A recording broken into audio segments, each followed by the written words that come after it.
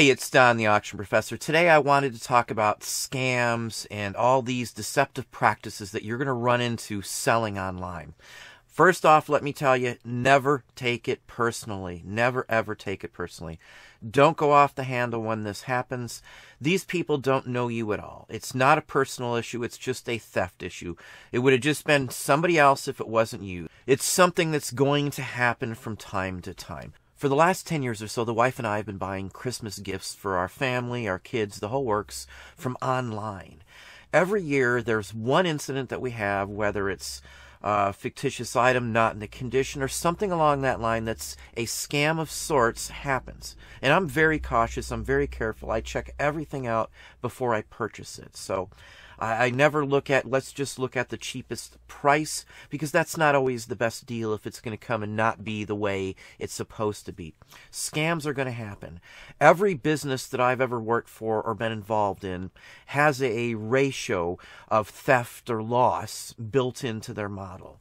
So it's something that every industry really knows. Even if it's something that doesn't sell to the public, so to speak, there's going to be breakage, there's going to be internal theft for employees and things along that line. So there's always a loss point somewhere. For a online seller, the loss point is possibly a fraudulent buyer that's trying to take you or, or, pull a fast one, such as switching out the item, you sending them a very nice top end Blu ray disc, and them sending you back a VHS player or something like that. That's something that happens. One year we got several bricks in the mail that equated to the weight of a PS3, which is what we were supposed to get.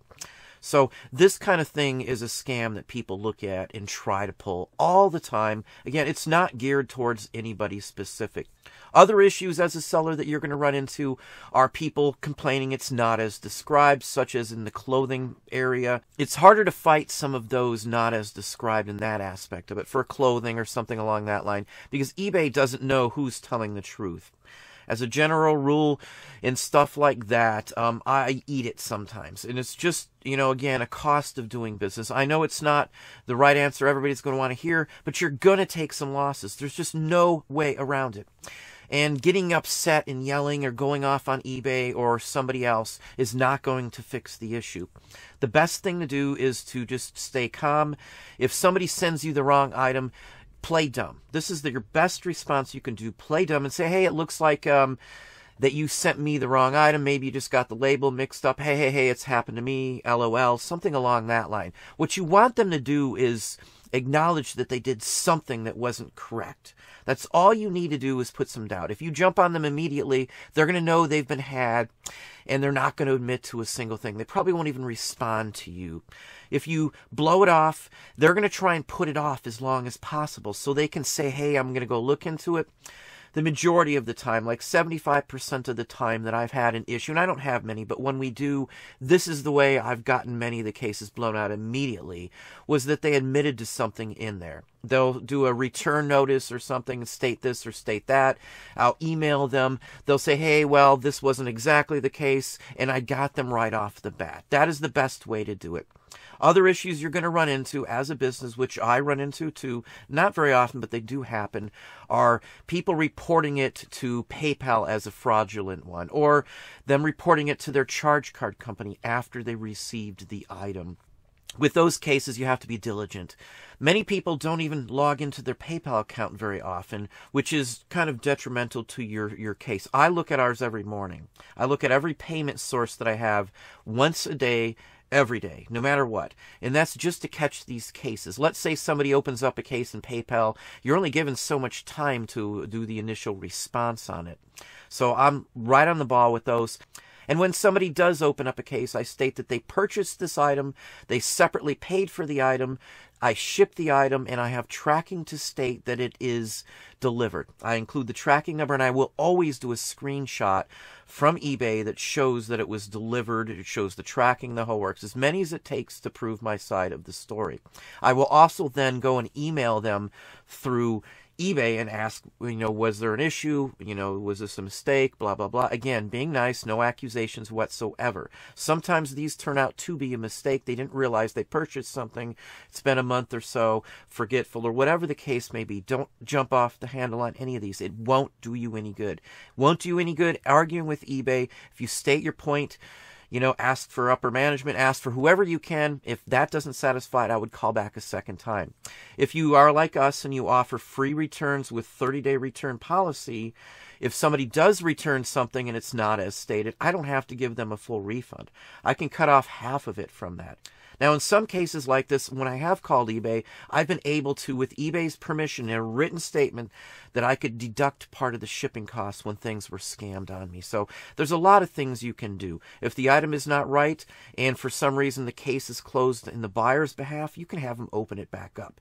And if, let's say, they side with them initially, don't panic either because many times when a buyer is trying to pull a fast one, it's not even looked at by eBay itself. It is all done electronically through the system.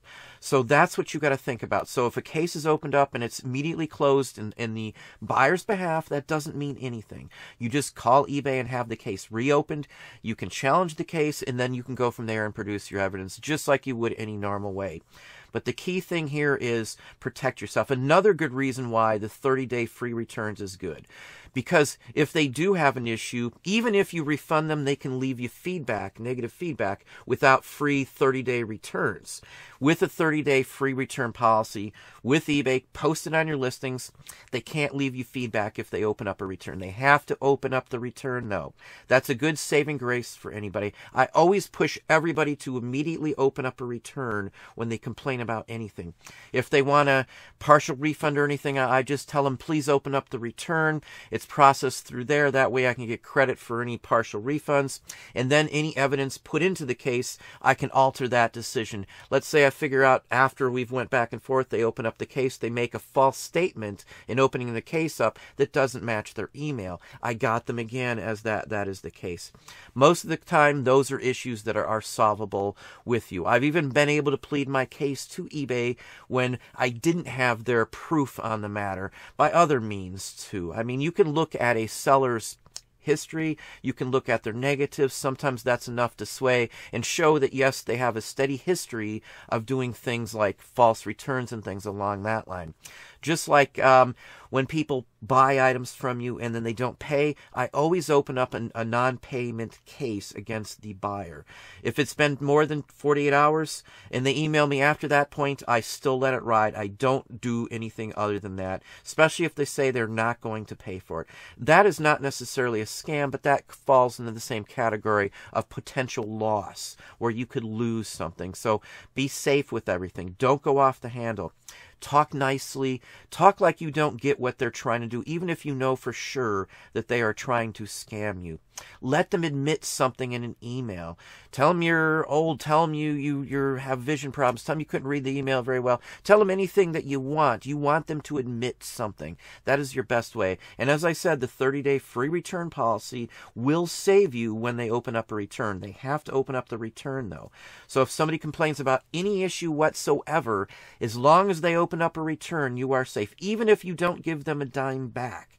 And even if you said you were going to give them a dime back and circumstances changed, they can't hold you to that. As long as you have viable reasons and why you didn't do it. And then as well, they cannot leave you negative feedback. So even though a person's trying to scam you, they can still leave negative feedback. Get them to open up that return. That's the bottom end here, the bottom line. Just like with PayPal, send all the information that you have. Don't freak out. Don't go panicking. Charge back the same thing. Send a screenshot of all pertinent things. Send a screenshot of the sale, of your actual account that shows where it was, the title, the whole works, who it was sold to, and then a second screenshot of the tracking information that shows it was delivered. If the item wasn't delivered, there's nothing you can do. It is out of anybody's hands to fix the issue. You will just have to eat the cost, the loss on that, unless you had insurance. So again, don't panic. That's the number one thing I can tell you. It's not the end of the world. You're going to get ripped off. I can tell you readily, right now, right off the bat. Some stores, like uh, retail establishments, have a 3% loss year by year, standard. They pay prevention professionals to be undercover agents in their store to find people robbing and, and stealing. They put cameras in and spend tons of money on surveillance to catch employees doing it as well in the stockroom out back. These are things that, that stores have to do. You're going to have to take that into consideration that you're going to have theft happen through scammers and cheats and swindlers on online platforms. It's easier to fight them on eBay and Etsy and some of the other platforms than it is on Amazon. Amazon, it's almost impossible, and I usually just give in and be done with it because it's not worth all the aggravation and hassle. You, you can't talk to someone half the time anyway, and there's not much that they will do. They usually side with the buyer on Amazon. I'm not saying that's bad. I'm not criticizing. We do do well on Amazon, so it's still a viable platform. Again, it's just figured into my percentage of loss. Everybody should have one of those categories. How much are you going to lose? You can put things that you lose, such as you made a mistake, into that last category. It'll help you budget throughout the year. You'll know where you stand based on potential loss. So if you don't have any losses, you'll have a little extra money at the end of the year. So just be safe. Play it safe. Don't panic. Don't freak out. It's going to happen. I'm telling you right this very second. Sometimes it's unintentional, sometimes it is. The majority of the time, I should say, it probably is intentional. But anyway, take those into consideration when you're doing this business. Project yourself a certain percentage that's going to be lost because stuff is going to happen. I don't know anybody who's been doing this for any length of time who hasn't had some scammer, some cheat, some swindler try to attack them and get money from them. I have a case going on right now with a chargeback issue, which sounds like it's going to be again cited in my behalf because again they opened up a legitimate account. The item was delivered. I can prove all of this without a shadow of a doubt. So anyway that's what i have for you today. Hopefully that gave you some ideas and some thoughts. If you enjoyed the video please hit that like button down below. You can also hit the bell icon to be notified if i post new content or go live. Subscribe and tell a friend